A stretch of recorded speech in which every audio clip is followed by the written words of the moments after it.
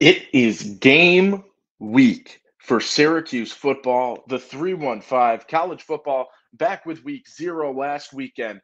This weekend, we get Syracuse football back in action. So, what better way to celebrate the return of Syracuse football than taking a dive into some preseason awards. We're giving out the Locked On Syracuse preseason awards. That's going to be MVP, Player of the Years, Rookie of the Years, Stat Leader predictions, and so much more. Let's have some fun today on your Locked On Syracuse Monday episode. Let's get right after it. It is game week. Let's get fired up. You are Locked On Syracuse, your daily podcast on the Syracuse Orange, part of the Locked On Podcast Network. Your team every day.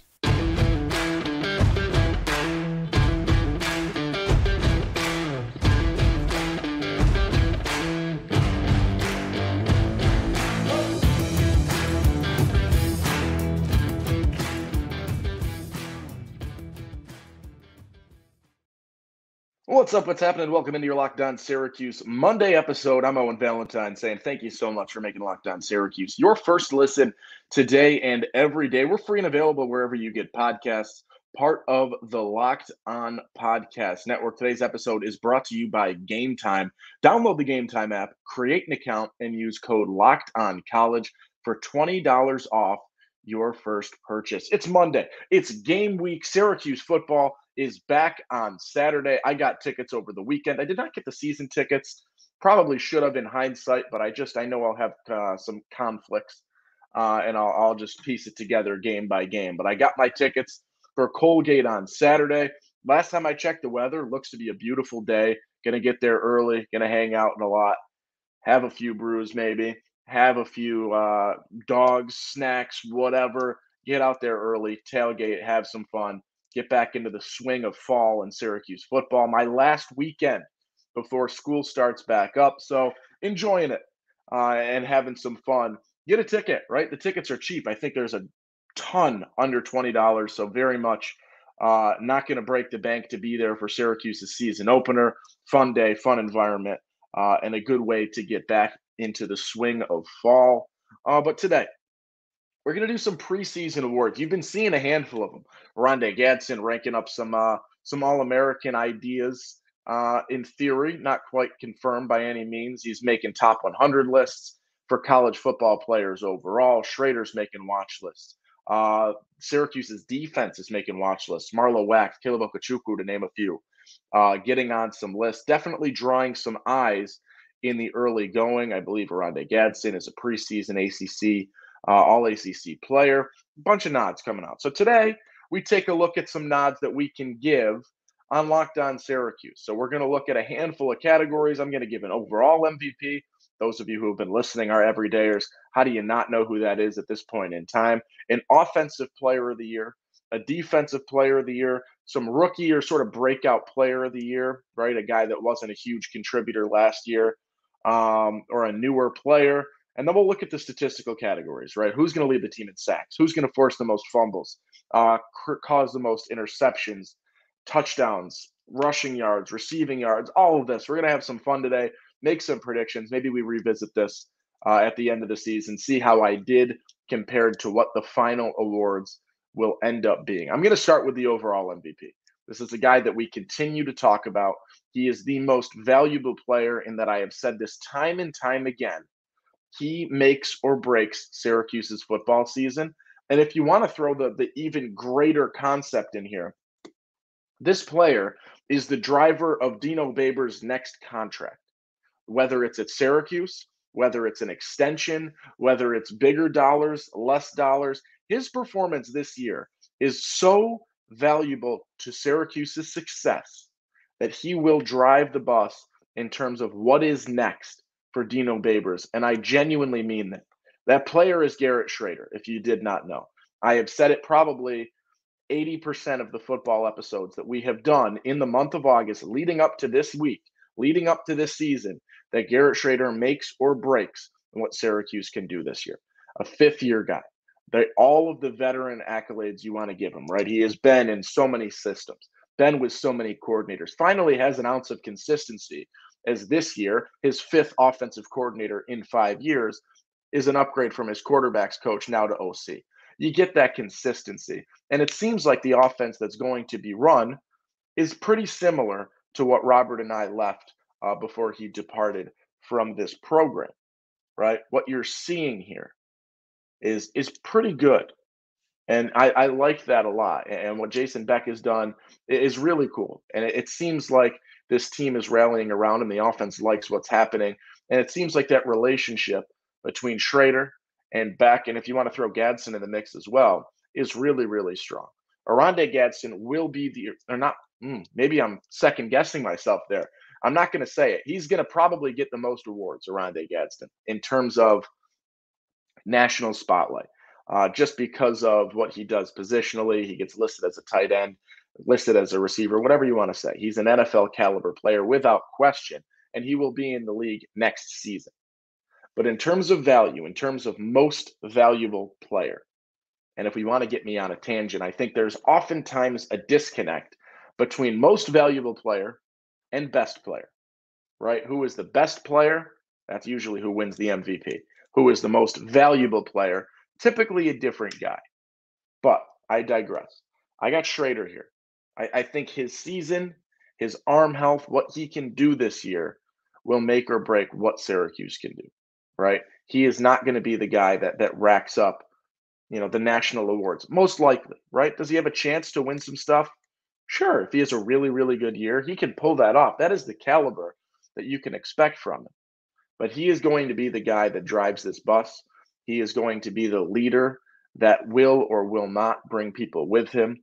And that is why he is this MVP. He's my overall MVP. I think you're insane to not predict him as your overall MVP. Garrett Shrader gets the overall MVP nod. Now I'm doing, we'll stick with the offense for now. We'll do an offensive player of the year. Now, I want to give a nod here and say that this is going to be, and a lot of our offensive categories are going to be non Shrader and non Oronde Gadsden winners right? They're they're the two guys that are going to do the most. They are the clear option one and the quarterback, right? I want to get those other options in there, give some other players some recognition so that these predictions can be a little bit bolder than me saying mm, Aronde Oronde Gadsden's going to be your non-Shrader offensive player of the year. Or to get to our statistical categories, which we'll talk about a little bit later on in the show, it's not anything special for me to say that I think Oronde Gadsden's going to lead the team in receiving yards. I do. So a lot of these categories are going to be non-Gadsden and non-Shrader. My offensive player of the year, right? I know I gave an MVP and it should be Shrader because I just said that, but let's go elsewhere.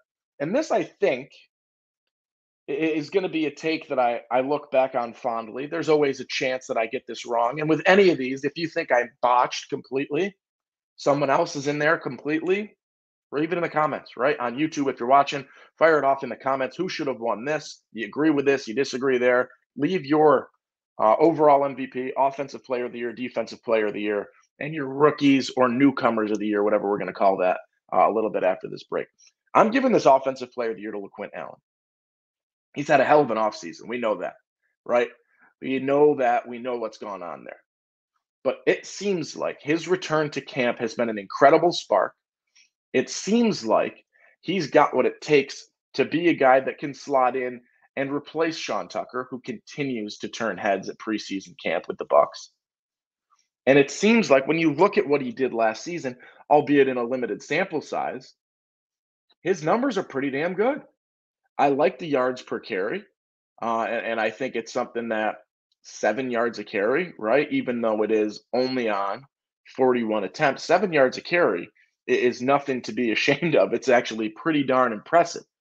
I think he can be this player of the year because of what he can do supplementary, right? We know what Shrader can do. We know Shrader is going to be able to move the ball a little bit better this year, find some depth, find some other receivers.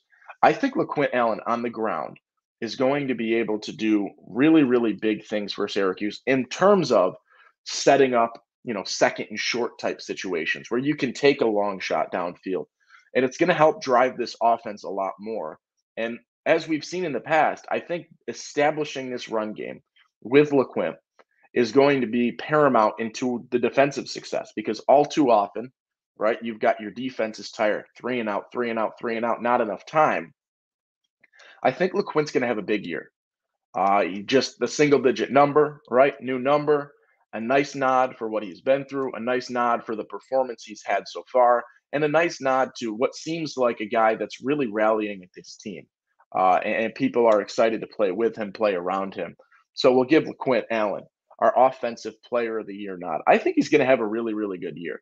Uh, I don't know exactly what my threshold for a great year for LeQuint Allen is yet, but I do think he's going to hit some really solid numbers and, and, continue building off of what we saw, you know, in the bowl game, right? In the Pinstripe Bowl, he started to show it uh, and really looked good in that game.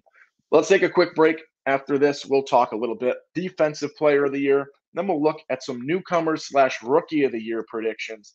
Uh, I'm using the word rookie very generously. I'll give you that hint.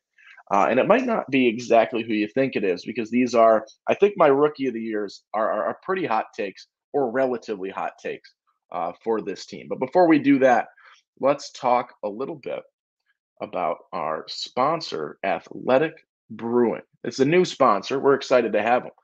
Uh, but first, now it is time for your game changer of the week. And this is going to be fun. We'll return to this a lot. Brought to you by Athletic Brewing Company. Much like, and we got to give a player right now. I'm going to give the nod to LeQuint Allen. Much like LeQuint Allen, Athletic Brewing has completely changed the non alcoholic beer game. The na- they make non alcoholic beers that actually taste good. I talk about LeQuint Allen. He's been through a ton this offseason. And it seems like he has come in with a new energy, a new vibe.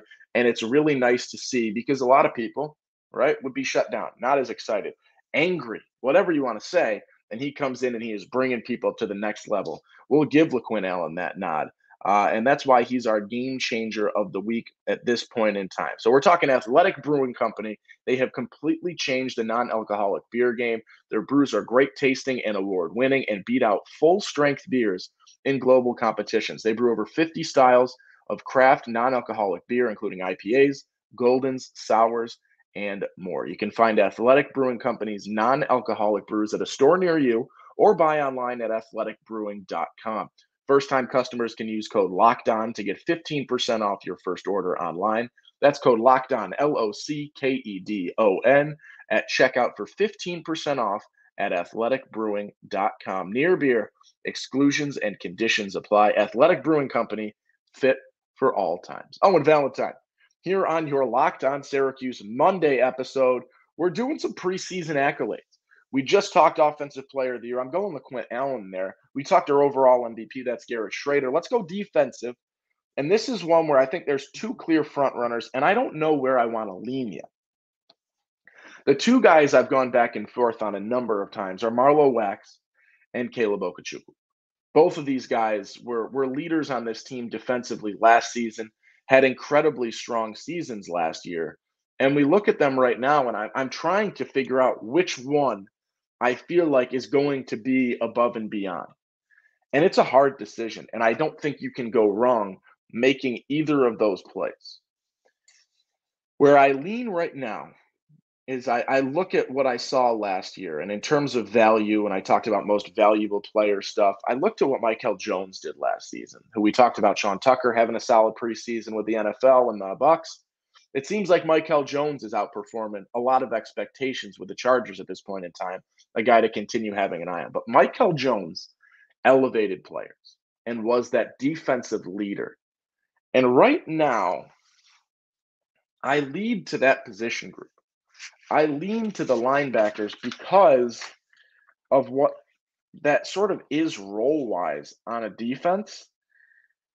He is a captain. I'll give you that. There are more captains being added, so they could both be captains when all is said and done. But I'm going to go DPOY to Marlowe Wax. I like that he is in that linebacking group. I like that positionally, that is where a leader typically will come from. Not that they can't come from elsewhere in the defense. I'm going to give the nod to Marlowe Wax. He had an unbelievable year last season, right? I mean, so did uh, Caleb for what we're talking here. Uh, led the team in tackles for loss with 10 and a half tackles for loss for 48 yards, four and a half sacks on the year. Uh, that is second on the team, only behind Okechukwu. So, you know, you've got that, but positionally, it makes a little bit of sense. Uh, I'll give the nod to Marlowe Wax for the defensive player of the year. And if you tell me I'm wrong on that one, I would believe it right? I, I think Okechukwu is an equally great option, but I'm going to give the nod to Marlowe almost positional advantage, I might even say. And he's the captain right now. So we'll give him that player of the year stuff for defensive side of the ball. Let's go to the rookies or newcomers of the year or player that didn't play a ton last season. Uh, it's almost a breakout player. It could be a transfer, a rookie, guy who didn't play a ton. Offensively, and this is, you know, an interesting take, I'm going to say for myself, give myself a self pat on the back.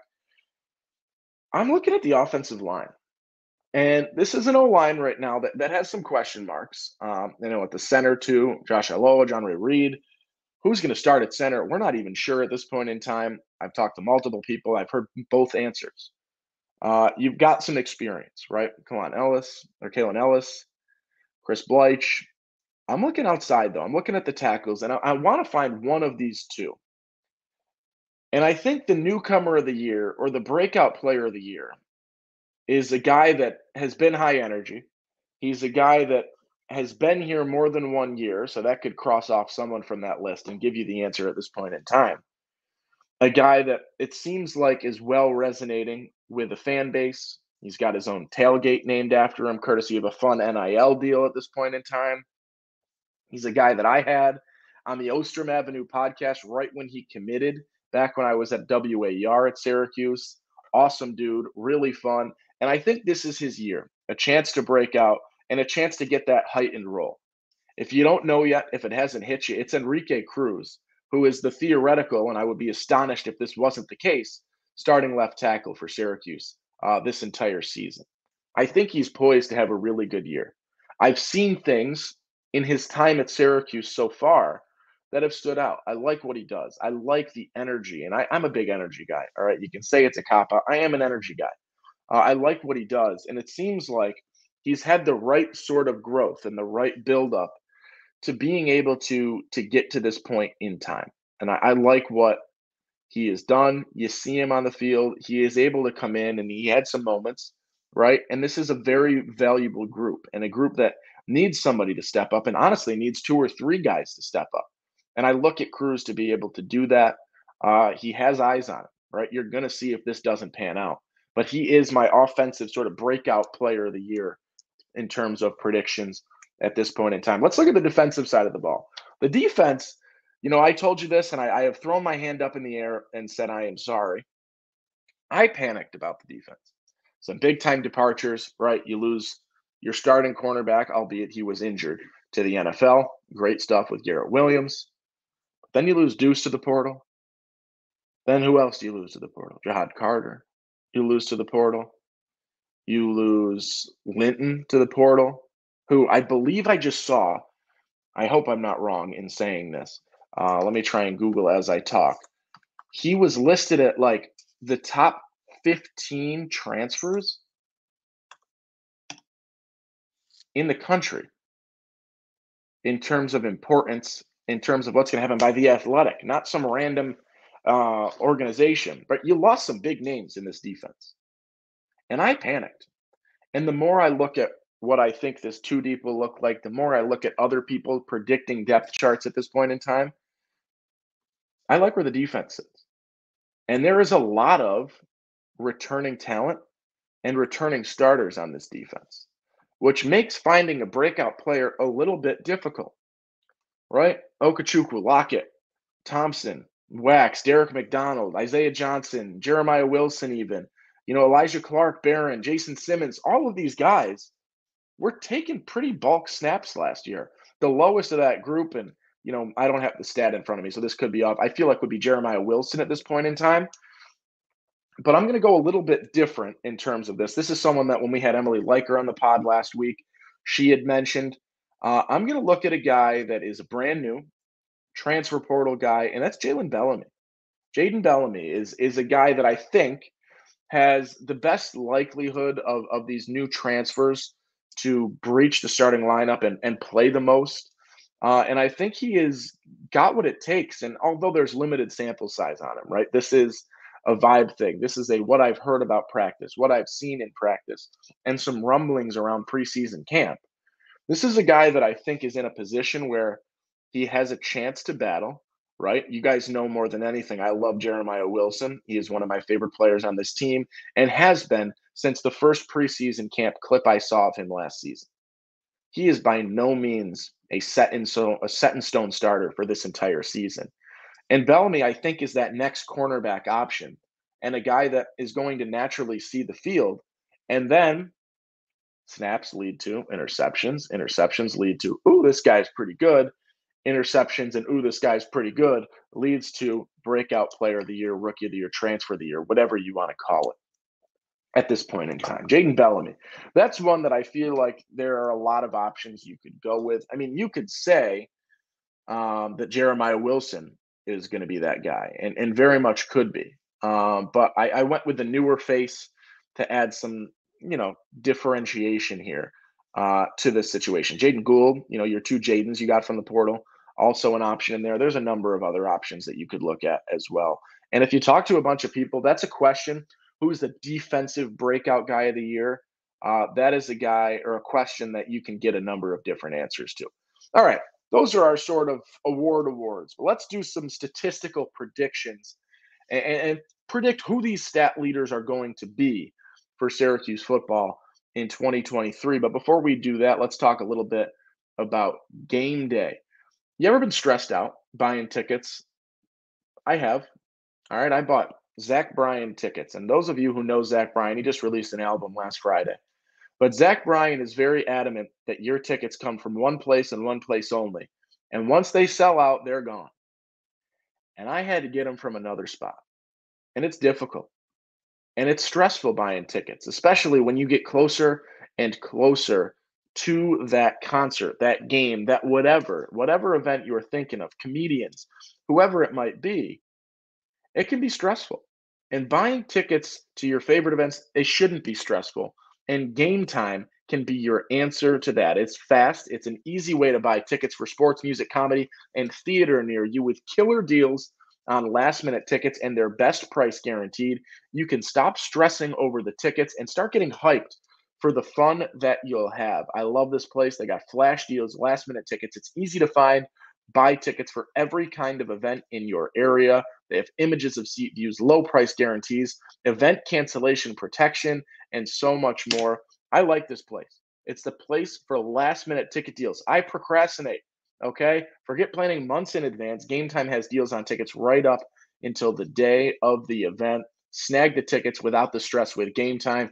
Download the Game Time app, create an account, and use code Locked On College for $20 off your first purchase. Terms apply. Again, create an account and redeem code locked on college for $20 off. Download game time today. Last minute tickets, lowest price guaranteed. Oh, Owen Valentine on your Locked On Syracuse Monday episode. We are breaking down some preseason awards. Now we're taking a look at some statistical leader predictions for Syracuse. We'll start with the offense. Start with rushing touchdowns. And I said LeQuint Allen is going to be my player of the year on the offensive side, but here's the take Garrett Shrader will have more rushing touchdowns than LeQuint Allen will this season. And my reason for that is I do feel like Syracuse, depth chart wise, at the running back, is going to be in a position to rotate runners a little bit. And that's going to naturally take away from the touchdowns and, and the pay dirt that you're going to see LeQuint Allen hit. Uh, I look at this squad. I look at Juwan Price as a guy that can get the ball. I look at Ike Daniels, even the true freshman, as a guy that could possibly see the ball a decent amount, or not a decent amount, but a little bit. Uh, and I think when you look at the style of offense that Syracuse wants to run, when you look at what happened last season, and you look at the individual statistics, Sean Tucker was Syracuse's best running back in I don't know how long, and he was only two rushing touchdowns ahead of Garrett Shrader. So when we look at this right now, I see Shrader as your guy that leads this team in rushing yards. It's something that you're seeing at the NFL level with Hurts, and and being that goal line option yourself uh, is something that you're going to continue to see. Plus the fact that Shrader can just break out at any point, get outside, find a gap, and move. I'm going to say Shrader's that rushing touchdown leader for this team. Passing or receiving touchdowns, I am going to say Oronde Gadsden is the answer. I'm going to give you the non-Oronde answer. And my non Oronde touchdown leader, I'm going to go to Damien Alford. Six six. Okay, that is huge. in terms of goal line option, in terms of making yourself a solid option inside the red zone.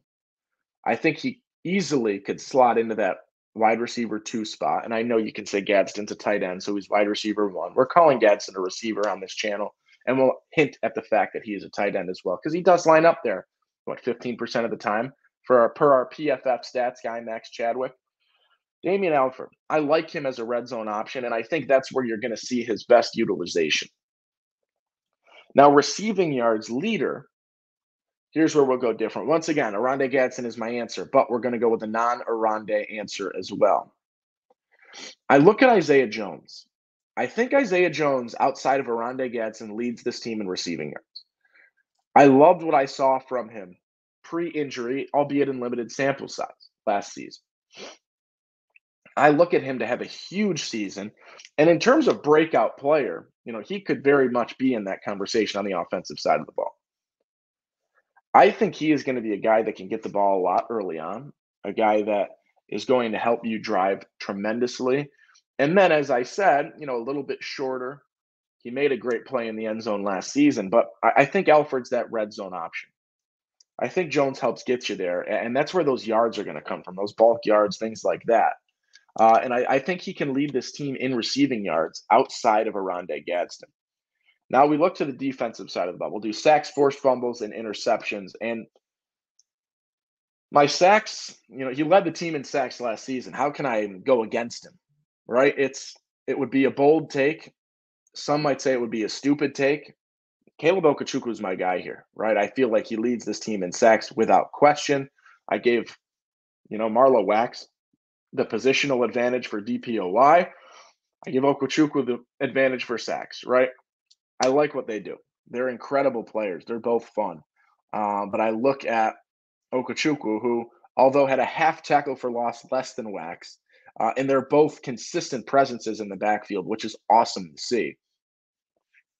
Okechukwu is the sack leader on this team.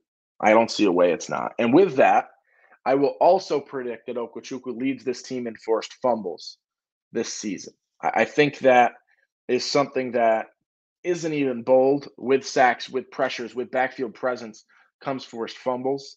He was one of three players last season with two forced fumbles. Anwar Sparrow in the mix there, Okechukwu, and then Marlowe Wax had two as well. I, I think he it comes with the territory, right? That presence in the backfield, that nature is just going to naturally bring you sacks, bring you forced fumbles, and you give Okechukwu the nod on both of those. Interceptions, I think there are a number of guys that you can go with. I'm going to go out wide. I am going to go with who I think is the most solidified cornerback at this point in time in terms of going to get the most snaps and has the most solid case for being a cornerback and a starting cornerback this entire time. Whereas if a guy like, you know, Jake Bellamy makes that jump, I don't think his position's at risk. So I will give the interception prediction to our guy, Isaiah Johnson. I think he's going to have a good year. I like what he's done. Uh, he showed really good stuff last season, and you know I was as hype as anyone could be um, about our boys at the cornerback spot. Right, we were watching them. I love my Jeremiah Wilson. I'll say it every episode. I'll say it whenever. Right, we were hype on Wilson, but when it came to in-game performance last season, and when it came to being that first guy, Isaiah Johnson was the answer at cornerback, and you saw that when uh, you lost Garrett Williams last season, and he was the guy that slotted in and I thought played pretty well. Could there be improvements? Undoubtedly, but he's a younger player slotting into that role. And when you look at him, although now he, he's got that experience, right? He comes in as a, as a transfer from Dartmouth. He's got the higher level experience. I like where that leads him. He had an interception last year. He had a pass breakup last year, and I think he leads Syracuse football in interceptions this time around. Throw your ideas out there. Did I miss a category? Um, am I dead wrong on something? Join the conversation in the comments on YouTube or on Twitter at LO underscore Syracuse over there. That'll do it for our Monday episode. It's game week. Get excited, have some fun. Uh, thank you for making Locked On Syracuse your first listen today and every day. We're free and available wherever you get podcasts, part of the Locked On Podcast Network. That'll do it. I'm Owen Valentine. Be kind, make somebody smile today, be a good human being and have a great week, everybody.